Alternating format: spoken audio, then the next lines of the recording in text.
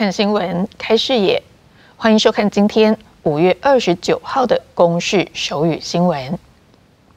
首先来关心引发朝野冲突的国会职权行使法，昨天在立法院完成了三读，而修法重点包括有总统到立法院国情报告常态化，增订藐视国会罪。新增国会听证与调查权，还有行使人事同意权时需要记名投票。对此，民进党团将要申请宪法解释来反制，而行政院也表示要提出复议。立法院职权行使法修正案历经四次院会审查，二十八号三读通过，条文修正。通过。立法院职权行使法的修法内容包括总统赴国会国情报告、藐视国会罚还国会调查权、听证权以及人事同意权等关键条文。二十八号完成三读程序。民进党团干事长吴思瑶表示，民进党团准备好视线相关规划，即将对违宪条文提出视线。相信正义即使会迟到，但正义终究会来到。民主已死。国会已亡，民主进步党，我们准备好了视线的相关的规划筹备，我们即将对于这样一个违宪呃的条文提出视线。国民党立法院党团总召傅昆奇表示，这是执政党开启另一个战场的开始，会奋战到底，让调查权和听证权在台湾落地生根。行政院啊，确定会提出复议，我想这又是执政党。打开另外一个战场的开始，我们再次的表达，我们会奋战到底。民众党主席柯文哲说：“走过三十年，国会改革终于三读完成，历史将留下记录，痛苦会过去，改革会成功，继续为台湾民主深化努力。强而有力的国会哦，可以跟这个做到这种分权与制衡。”这才是国家的啊，确保国家可以长治久安。不管国民党或民众党，对民进党来讲，他是一个竞争者，不是敌人。对于民进党团将申请释宪，行政院长卓荣泰表示尊重。行政院会依宪法增修条文规定的程序，将这次修正案移请立法院复议，以忠实捍卫宪政程序。总统府深夜回应，总统赖清德期盼民意关注的重大争议性法案，朝野在三读后仍有持续对话调节的可能性，以呼应国人民意诉求。记者综合报道。而昨天在立法院外，则是有大规模抗议活动，数十个公民团体和声援民众聚集，反对国会滥权，呼吁正视民意。而到了晚间，主办单位宣布，现场人数已经突破了七万人。除了台北之外，包括花莲、新竹以及彰化等县市，也都发起同步串联行动。立法院场内闹哄哄。二十八号晚间九点多，场外周边济南路、中山南路和青岛东路也挤满声援五二八青鸟行动的民众。主办单位经济民主联合喊出现场人数已经突破七万人。今天我们在全台湾各地都还有人在串联，各地都举办活动，不止在台湾。其实，在国外，在全世界都有很多台湾人在关心国会滥权。下雨没有阻止民众聚集，到了下班下课时间，人潮越来越多。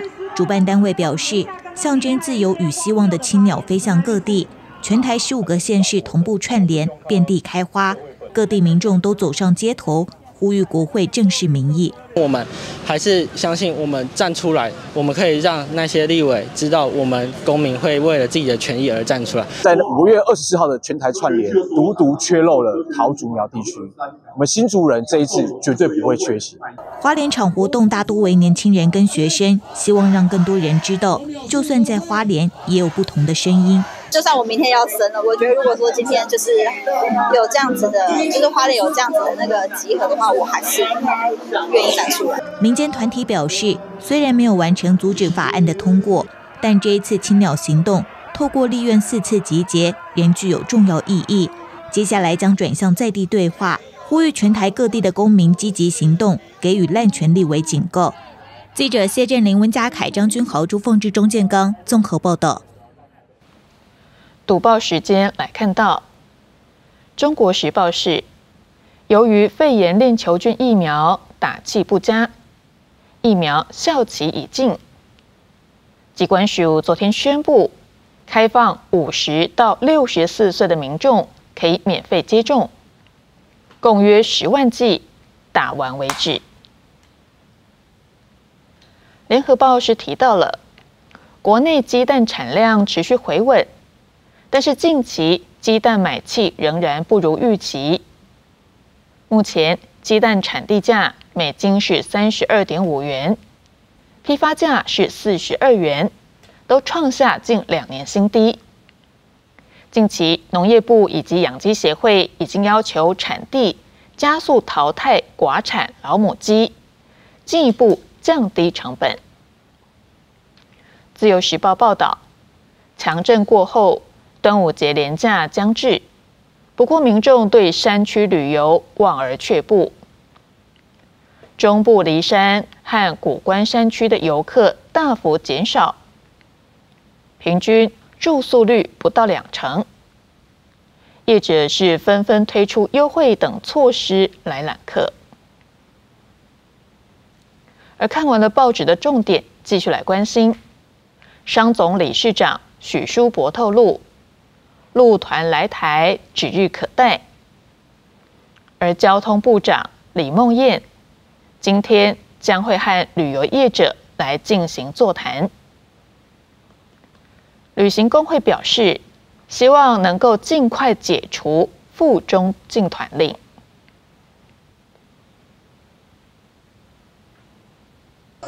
强打机票与住宿优惠，台北旅展展前记者会上，业者预告寄出超低折扣，瞄准暑期旅游市场抢客。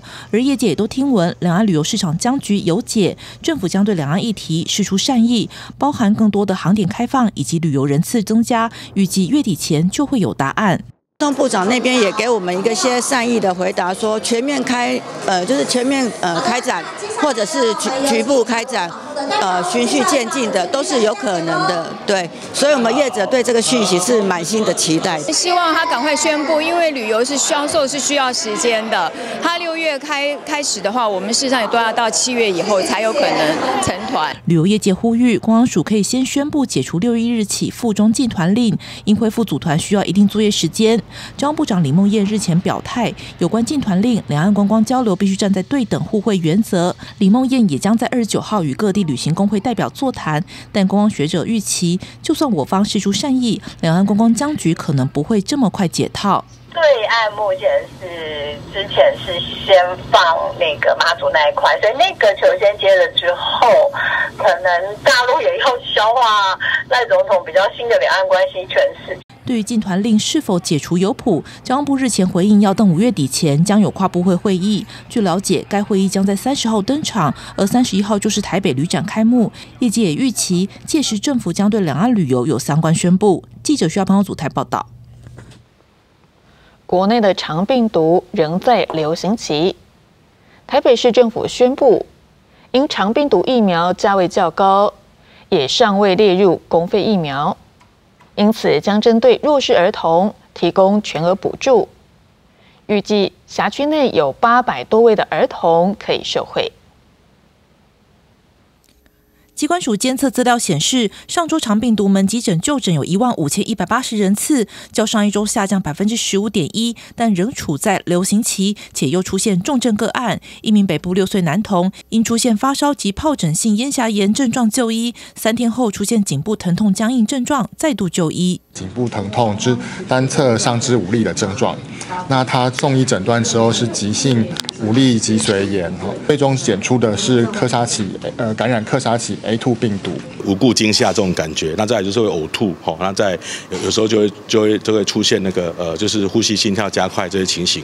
如果说机车后跟呼吸心跳加快的话，这个一定要住院。对于两到六岁幼儿，目前市面上有两家业者推出肠病毒疫苗，完整注射两剂需要八千元以上。北市府宣布，将自六月十七日起全额补助弱势儿童，只要是两个月到未满六岁，据台北市第二类儿童医疗补助资格，包含罕病、重大伤病、低收、关怀之家儿童等，就可免费施打两剂肠病毒疫苗。台湾有三例克沙奇的重症，但不是说肠病毒其实已经不会重症，但是我们还是先投注在资源，在这个比较。特定的族群上面，然后希望优先来照顾相对弱势的孩童，这个打的效果不错哈，等等的因素，我们会在考量，也许适当的有机会的话，我们可以再慢慢放宽这样子的一个范围。卫生局也提醒，肠病毒型别多元，就算接种肠病毒七十一型疫苗后，还是可能感染其他型别肠病毒，因此仍需要做好勤用肥皂洗手来杜绝病毒。大流行期间，大人小孩都要做好防疫。记者需要朋友组台报道。为了要遏制车祸肇事逃逸行为，新北市警局从六月一号开始要实施检举新制，只要民众提供肇事逃逸或是交通事故的影像，帮助警方理清事故原因，就能够获得检举奖励金，从一千元到一万元不等。you. 行车记录器拍下一辆机车疑似超车不当，擦撞另一台机车，导致无辜骑士惨摔。但肇事骑士却没下车查看，反倒催油门绕跑。像这类似的肇逃事件层出不穷。为了遏制车祸肇逃行为，新北警方寄出检举新制，从六月一号开始，只要民众检举就有奖励金。协助警方在厘清。意外的发生或怎么样之类的话，我觉得整体来讲，我觉得这是一个好事了。最主要应该是说，可以帮助到这个事件能够更快的。对，水落石出。新北警察局表示，只要民众提供交通事故肇事逃逸或是道路交通事故录影资料，协助警方厘清肇事或交通事故原因，都能领取检举奖金。首先可以下载警方的 App，在申请服务专区点选交通事故影音上传平台，再填写输入事故车号、时间、地点等资讯，提供给警方审核。结果，警方会以书面通知再核发奖金。如果提供的是道路事故影像，最低奖金一千元，最高五千元。但如果是提供肇事逃逸影像，奖金则从三千到一万元不等。其实有时候在呃可能事故有些死角部分，我们还是会希望说民众可以如果有好心人可以提供我们事故影像的话，我们可以把案件理清的更全面。警方表示，民众检举采实名制，如果是匿名或提供不实资料，或是同一起交通事故已经领过奖励金，都无法核发奖励金。期盼新制上路后，能有助警方调查交通事故和肇逃事件。记者原子郭俊林新北报道。食药署公布边境查验的不合格名单，而其中网购族常用的平台酷鹏，从韩国输入扁薄木砧板，溶出试验不合格，总共有二十公斤的砧违违规砧板，将全数退运或销毁。而这也是酷鹏在近半年来第七件违规产品被抓包。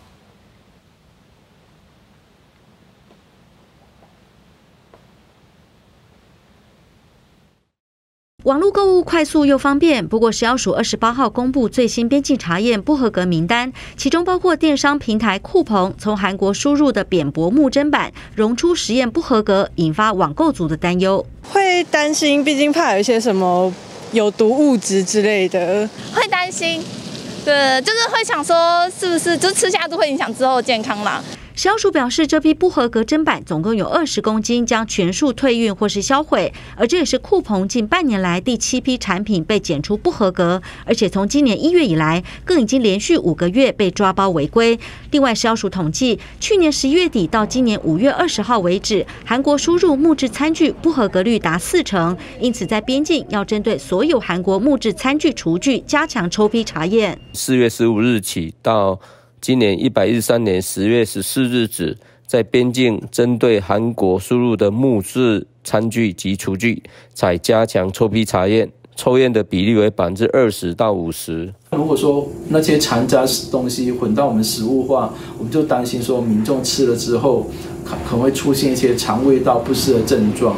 对此，酷鹏发声明回应，相关产品符合韩国销售规范，但会遵守台湾食药署规定，立即停止销售该产品，也会销毁边境不合格产品。此外，食药署公布的不合格名单还包括中国大陆的水果手动榨汁器、大麦苗粉、越南的罗旺子酱、马来西亚的辣椒粉等，同样得依规定全数退运或是销毁。记者赖水明、蒋龙祥台报道。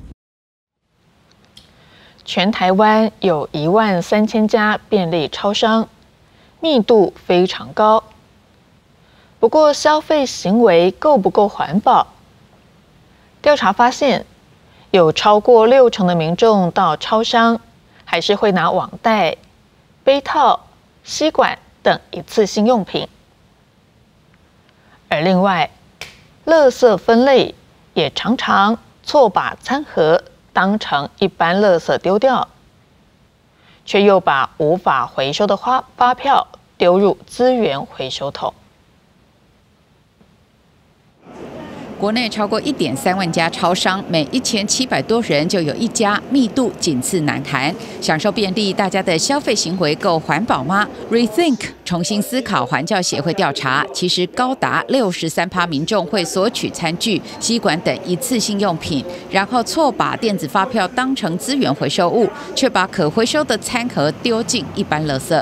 通常是吃过餐食的，他们可能就哦比较油比较脏，然后呃因为超商是一个非常快速流通的一个场域，所以他们可能也不太会有清洁的这个行为，然后就会直接一把垃圾丢弃，所以大概只有呃四十五 percent 的正确率。为了提升回收率，环团与超商合作，加强在托盘宣导丢垃圾时有更明确的指引。协力调查的学者认为，民众知道要做环保回收，却做不精确，显示知行有落差，适时引导有必要。在无痛的情况之下，知道一些讯息，所以呢，明确的图图像式的引导，或者说一个很简单的口号，我觉得那个的效果会更好一点。透过新宣传，消费者进入超商购买餐盒，坐下来是，再到丢弃，会被多次提醒餐盒丢、资源回收等资讯。最后一里路，则在新式垃圾桶完成。来，消费者在他产品的最后一里路，也就是他丢对垃圾、做好回收的这件事情上，我们也可以做更多的这个宣导。超商表示，也推动源头减量，鲜食包装原本上下盖都用塑胶材质，现在改用瓶口封，部分便当盒也改成纸的，减少四百吨塑胶使用。将来自有品牌的饮料也要朝向轻量化设计。记者林俊梅、陈昌伟台北报道。立委提案要修劳动基准法和就业服务法，针对女性怀孕。未满三个月流产的部分，提案应该要给五到七天的有薪假。劳动部则是认为要考虑雇主能不能够做得到，建议可以请扣半薪病假，引来立委批评。而对此，劳团建议政府编列预算来应应，公共化处理。立院未还委员会本周审查劳基法就补法修法，其中立委关心产假延长的修法，提案要将产假从现行的八周延长为十二周，并且提案新增怀孕未满三个月流产部分，应该给五到七天的有薪假，由雇主给付流产假薪资。不过劳动部认为提案利益良善，却担心可能会造成对育龄妇女就业的隐形歧视。不只是生理上，而且在心理上都需要时间调试。这个就是真正的母性保护。委员的提案全部都是雇主给的，都是要雇主给。事实上，这个部分，呃，雇主能不能做得到，这确实是一件要评估的事情。女性立委批评，只有女性才需要流产假，劳动部却要女性劳工和其他人一样请普通伤病假，反倒是歧视女性。劳动部长何佩珊则回应，如果要做，就要评估政府是否可以编预算应应。那其实我们如果去看就业歧视案件里面的怀孕歧视案件，其实在每一个每一年里面的比例都还蛮高的，原因就来自于因为它的是叫雇主来负担。那其实，在很多的国际公约里面都要求说，产假薪资其实应该是要由公共化来负担呐。长期关心女性就业议题的劳团认为，立委的提案都是由雇主给付流产假薪资，雇主能否做到仍需评估。不过，确实可能导致妇女就业歧视的情况，认为应该评估由政府编预算应应，以公共化处理的必要性，也是体现政府重视女性就业权的表现。记者陈嘉欣、张子佳台报道。世卫大会，台湾无法与会。不过，立法院视导团也把握时间进行国会外交。二十八日，除了与瑞士下议院有台议员见面，讨论未来合作的方式，也拜访首都伯恩市长，互赠两国伴手礼。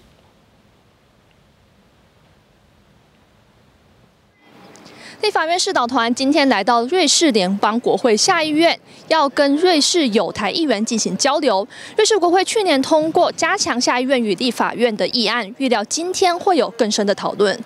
Our Parliament voted a resolution. To improve uh, our relation and to, to strengthen the relation between the UN legislative and the, the Swiss Parliament, our chamber. So that's also what I hope we're going to discuss today. 立法院副院长江启臣表示，瑞士国会期待台湾立法院能够成为台瑞双边关系的推手，除了关注民主及区域和平稳定，也希望深化经贸、文化和教育等领域合作。市导团接着前往伯恩市政厅，与有台市长格拉夫恩里德会面。伯恩市长是台湾的好朋友，任内推动许多台瑞交流。他与市导团互赠礼物，还俏皮地用刚获得的台湾茶具，假装喝一口茶，展现对台友好。They are both small countries, but they are both rich countries that are very successful, doing successful, and both are democracies. So I think we have a common basis. uh, which is which is always good uh, for for cooperation. 基于相似理念，这几年台瑞国会和城市之间的交流频繁，目睹俄乌战争和中国威胁渐增，瑞士提高警觉，期望和民主台湾有更多合作。记者梁燕林志坚，瑞士日内瓦采访报道。新竹大楼二十六号晚间发生火警，造成两名消防员殉职。而火调人员初步鉴定是地下室的电缆线因故短路，才引发火势。而在火灾初期有启动排烟风机功能，但是后续因为缆线烧毁，造成停止运转。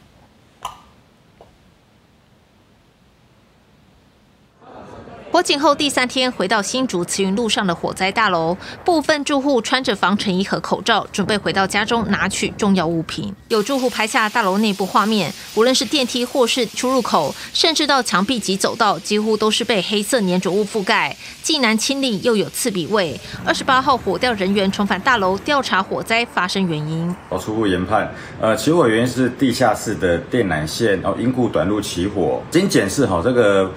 排烟闸门是有开启的状况。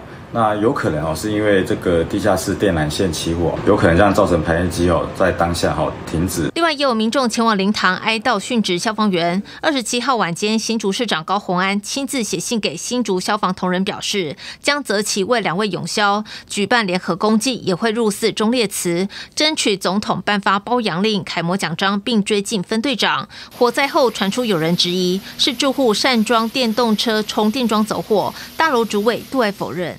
申请充电桩的时候，都是经过，我们都会去跟台电申请，负载会不会超过台电原先的设计？如果会超过设计，台电根本不会接受你的申请。大楼主委指出，等到火调报告出炉，会申请公共意外险和火险。另外，针对消防灭火器等设备，也会重新检视，确保大楼消防安全。但要全面复电，还需要几周时间。记者袁子郭俊林、张君豪，台北新竹报道。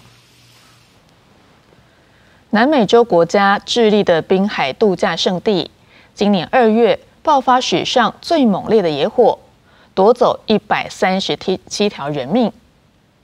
而当局详细调查之后发现，竟然是一名义消为了想要成为正式的消防员，跟一名林务官员串谋纵火。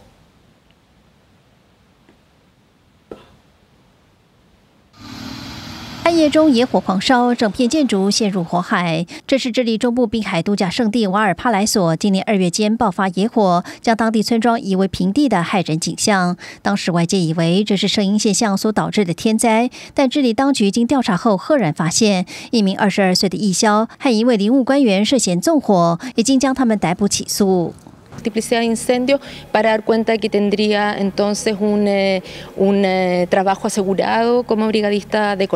调查人员指出，这名义消为了晋升为正式的消防员，和一位林务官员串谋，利用火势能迅速蔓延的天候条件，蓄意纵火。警调在起火点找到汽油与石蜡等证据，也在义消家中发现相关证物。这起是历史上最严重的野火事故，烧毁上万栋房屋及近九千公顷的林地，并夺走一百三十七条人命。得知局内有内鬼，林务局主管不敢置信。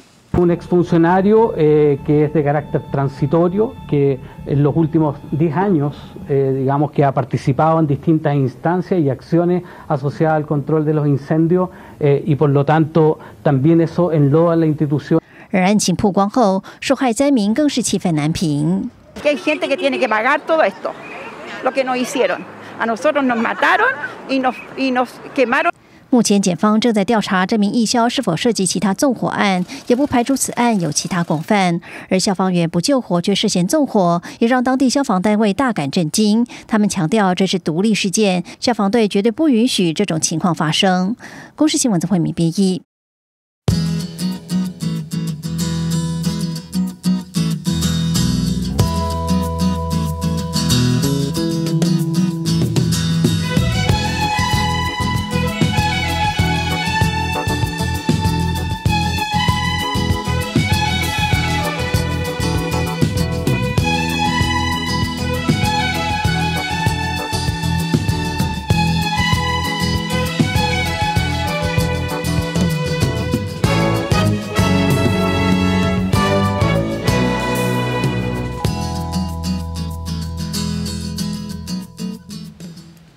感谢您收看这一节的公式手语新闻，我是王小叔，明天同一时间再会。